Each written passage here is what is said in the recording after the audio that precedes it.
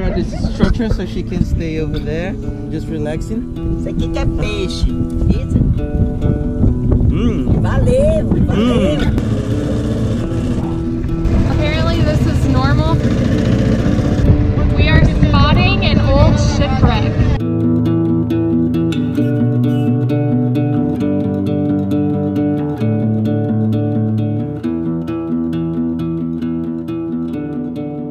Morning guys from Bragança in the north of Brazil.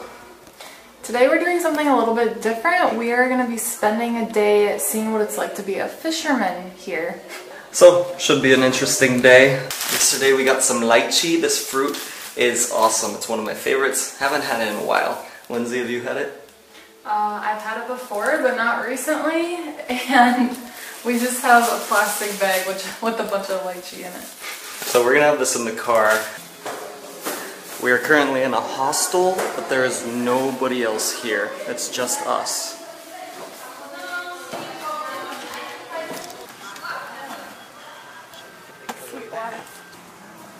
You ready? Ready to go. Will you hold my lychees? Okay, now we're gonna eat the oh, rambutan or lichia. Depends where you are. You say it differently depending where you are in Brazil or where you are in, in the world. We call this lychee back home, and some places I've heard it called rambutan. But this is a really good fruit. It's kind of like a grape on the inside with a pit, but the outside is awesome. It just looks like a furry red ball. I've tried this once, but I kind of forget how you eat it, so Alex needs to show me how to do this. So I learned how to do this in Costa Rica. They were all in the trees. I went with a machete and cut them down. And this is how you do it. You grab it with both hands and you turn like an Indian sunburn. turn it and it opens the Oh. shell like that. Little jelly ball inside. So I'm gonna let Lindsay take a little bite here. It's hard not to take the whole thing. How is it? Good. Sweet, a little bit chewy, but soft at the same time. So to me, it really tastes like a peeled grape. If you've ever taken the rind off of a mm-hmm. grape, which kids sometimes take the time to do, then it's just like the inside of a grape. That's how it tastes, but then it has a little pit in there, so you have to eat around the pit. Yeah, Very similar. juicy and sweet. Or you can just take the whole thing and then spit the pit back out in there. That's the pit. Mm. Good little car snack. So there it is. Lichia, one of my favorite fruits. Aqui que é a panela agora? E a placa tá Açaí. E essa aí, amigo? Hein? Quanto é que tá o litro? 14. Our guide knows Pra we dar mais love açaí, so we're looking for it everywhere we go. prepara o almoço. So we just asked this guy on the side of the road if he has acai because a lot of these places that say they have it at the moment they sometimes don't have it. We are planning for lunch. Lunch is still a few hours away, but we're gonna take this with us to lunch so we can have it. We're gonna get one liter of acai. That's a good guide. Yeah. Victor. he has a bag of acai. How's the acai look? Ah, cool.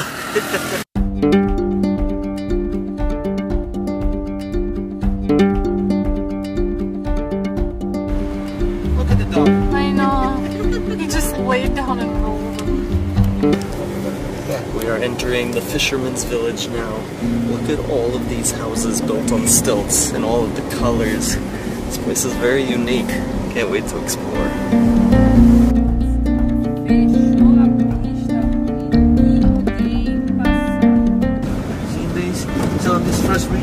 Where the people actually uh, goes fishing. There is two types of fishing. There is fishermen who just fish into this region, and there is fishermen who goes into the deep area of the ocean, and then they come back in here to commercialize. So this is the first area, like a small fair, when you Yeah. can come and just buy fish, fresh fish to eat. Before we go out on the boat, we are having a small little appetizer of a mussel stew. So you can see the mussel pieces in there. Let's try it.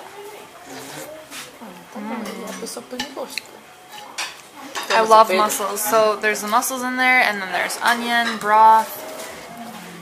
What else? I don't know. A few other things. And they seem to be using the traditional bowls. These are the ones that we saw yesterday, Yeah. right? So you can tell these are the ones that we were looking at yesterday that they make here out of the clay from this area. You can see that it's brown on the bottom and it's a little more burnt inside so that they can put the food in there and it keeps it really hot. Ooh, I love these bowls. Wow. 3 e 5. We should bring some.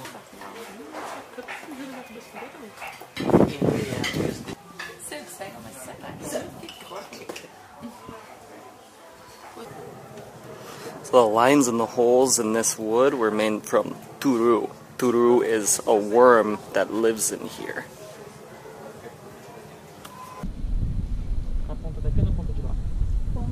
Okay, now we're getting on a boat. We're gonna go on a little tour around here and see what they do. Sadly. It's like a boat graveyard. The tide will come up later and then you can move these. Those guaras. So this bird is extremely red, pinkish, kind of like a flamingo, but I mean not like a flamingo, but its own color, but as vibrant as a flamingo, which is crazy because not many birds are that vibrant and colorful. The shrimp and the crabs that they eat in this area, those are red, and somehow the coloring from what they eat goes into their body and it comes out in their feathers. They are so pretty. They stand out even from really far away.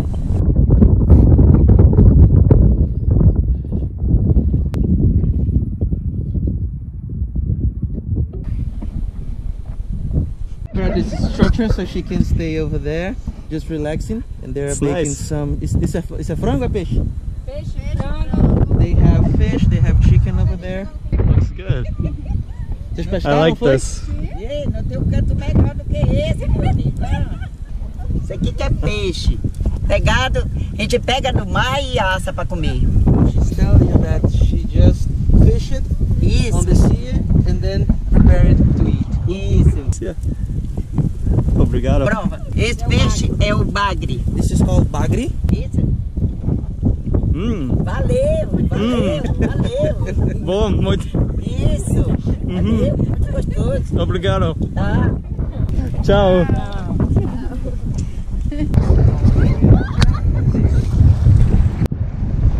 Okay, this is our boat. Let's go. Our new boat, our new friends.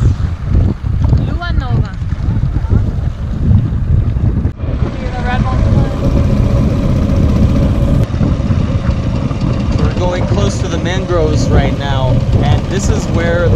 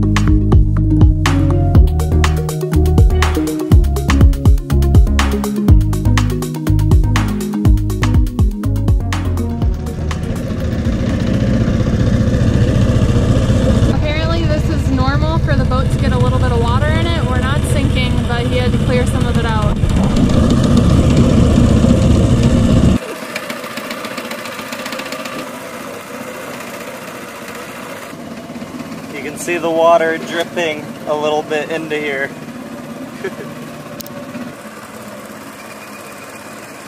We are seeing the mangroves during low tide, so we can see all the roots that are normally underwater. So in a few hours, all of this is going to be covered. You won't be able to see any of the roots.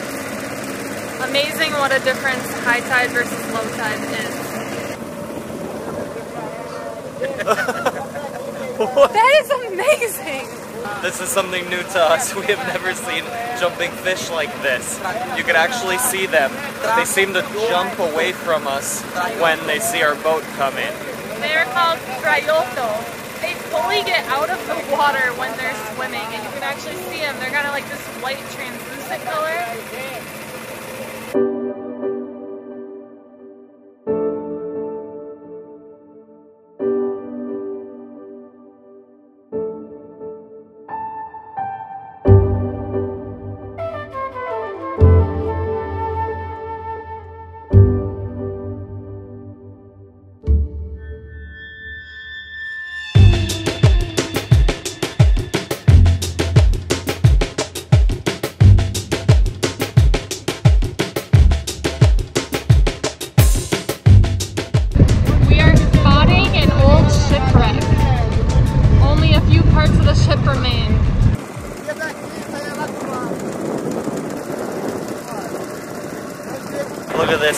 This half-sunken ship over here. We've seen a lot of these in Brazil. You should, you should re- Here you go. Yeah. It's saying this is this is uh, how you break. We're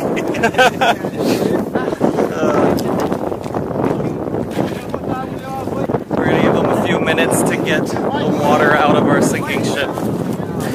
Yeah.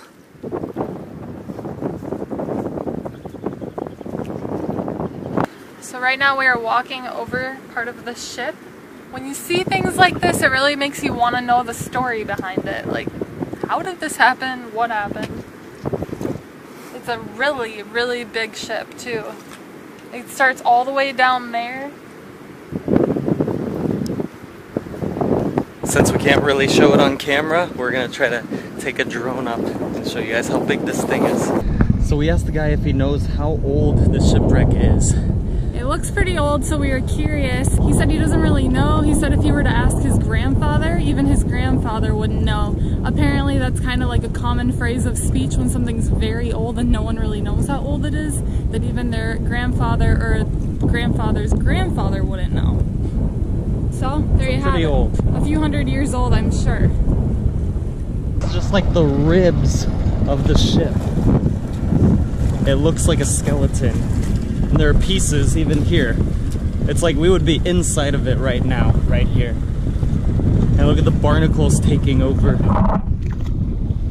Just since we've been here for like 10, 15 minutes, the tide has come up a lot, and now we're kind of stuck here. if we were here for another 10 minutes, maybe 20, I think we'd all be underwater right now.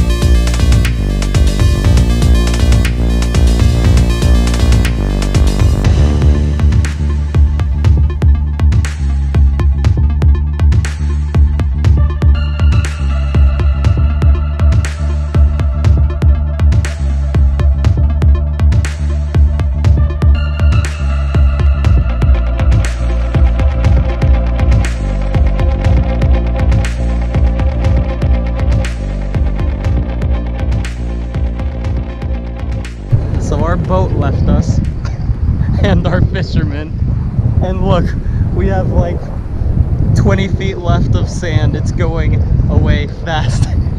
And we don't know if he's gonna get back in time. He's like not close to us, and the land is starting to disappear. So, uh, He's out in the the mangroves over there looking for his friend. Forgot about us. We have 10 minutes left before we have to swim. So last bit of land here. It's still shallow around here, but here we are. Good to go. Just got on the boat. Look, no land left over here.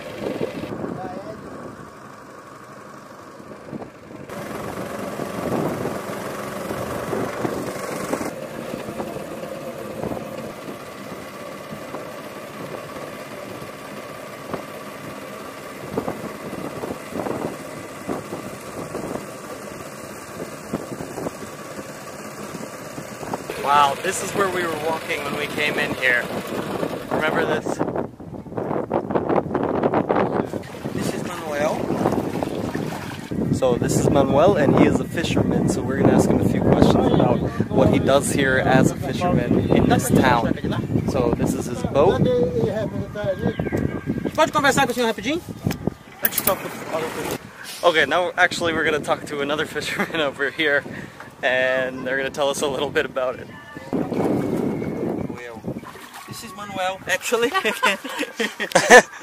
So this is Manuel in his fishing boat. He has some of his equipment right here. We're gonna ask him a few questions. I haven't thought of any, but I'll think of some on the spot. Um, so what hours does he usually work? What time does he start in the morning and what time does he finish?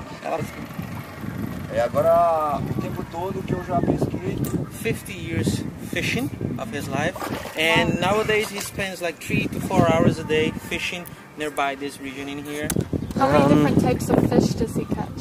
Quantos tipos de peixe, assim, 15, 15 years fishing, he could get, the bigger fish he get was the mero fish, like 178 kilos, 108 kilos, and there's there's the pescadas with 15 kilos, uh, 20 kilos, depending on the region that he actually was fishing.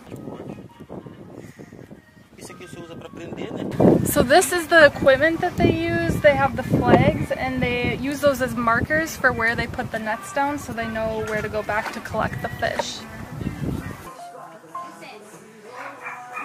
Okay, we're about to have lunch. This dish is special. This is stingray. We have never had stingray before.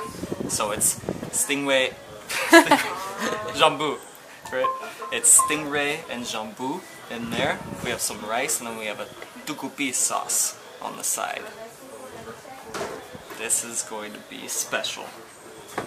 Okay, let's try stingray for the first time.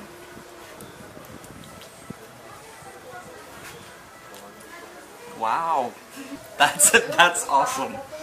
But I don't know if it's so much the flavor of the jambu, the stingray. Are there other things in there? It's like it's very saucy. Tem mais alguma coisa do que o peixe e o jambu aí dentro? So it's very moist. It has a lot of flavor in there. So we have some fried yuca here. We have a beef with some onions, rice, noodles. Yep. A little side of noodles. A different fish, like a fried fish. qual o suco já? Acerola, acerola. Acerola, maracujá. Fresh fish. Olha aqui.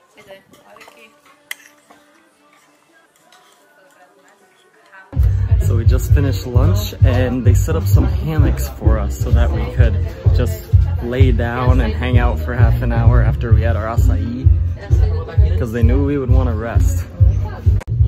People keep commenting. Do you want to stay upstairs?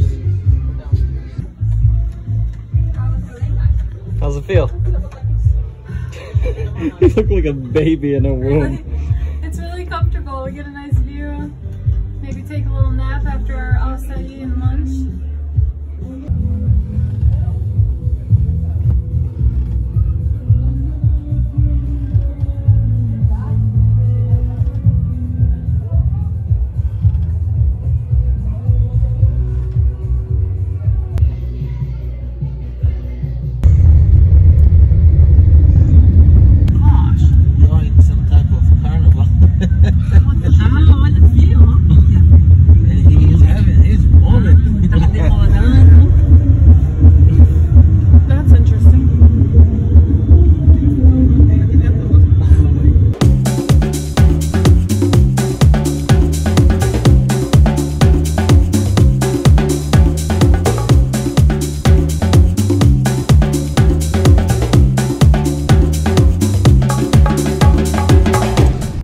Guys. We are in Belém, but we are leaving today.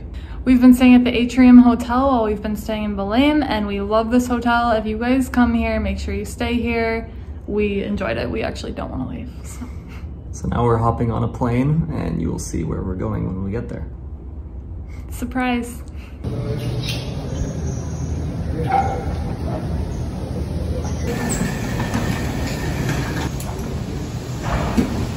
Faz small one in here. In my neighborhood, it was like for two hours of rain, then stop. But for two days, We did it. We found acai at the Belém airport. We didn't know if we were going to be able to. This is sadly our last real acai in Brazil, most likely. Very sad. Mais uma vez, boa tarde. Seja bem-vindo aqui